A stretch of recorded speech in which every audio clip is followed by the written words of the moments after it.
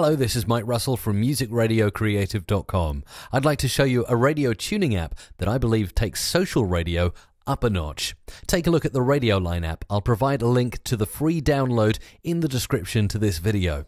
First of all, you can search out your favorite radio station. I've searched for mrc.fm and here's my result. I just click it to tune in. MRC. Now I'm listening to my favorite radio station. But there's more that you can do with this app. Not only can you use it to share your favorite radio station on social networks like Facebook and Twitter, but you can also go into the settings and connect it with multiple musical social networks like my favorite Last FM, which I use to scrobble all of my musical tastes to.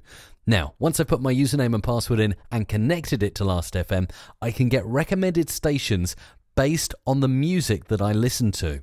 Boom, there are some radio stations I'd really enjoy listening to.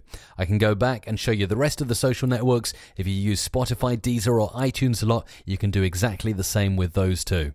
So go ahead, download the Radioline free app now using the link in the description to this video and enjoy social radio. I'm Mike Russell from musicradiocreative.com.